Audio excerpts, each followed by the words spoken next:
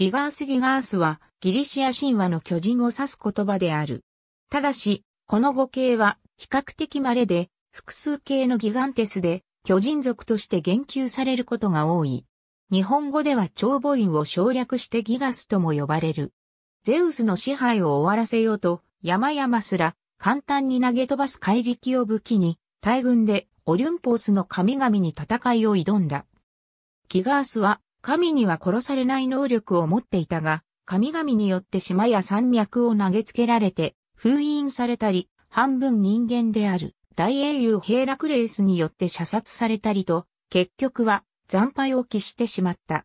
ヘイシオドスの神道記によれば、ウーラノスがクロノスに男性器を切り落とされた時、そこから滴り落ちた地でガイアが身ごもって生まれた種族とされる。トラーキアのパレーネー半島で生まれた。クロノスによってタルタロスの底に沈められる。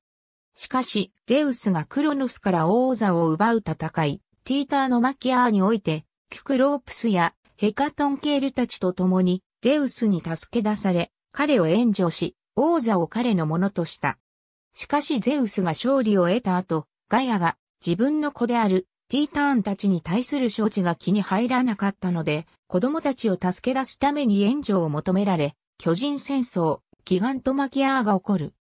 彼らは凄まじく巨大で、山脈や島々を引き裂きながら突き進み、燃え盛る巨大なカシの木や山脈などを武器にして、ゼウスらオリュムポスの神々に戦いを挑んだが、ヘーラクレースを味方につけた神々によって倒されたという。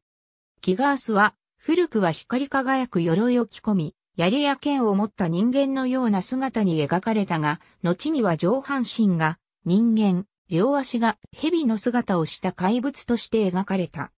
ギガースの名称は、アポロドーロスやヒュギーヌス、ツェツェスラによる文学作品のほか、ギガントマキアーの描かれたペルガモンのレリーフなど芸術作品に添えられたものも含めてカウントするとかなりの数になる。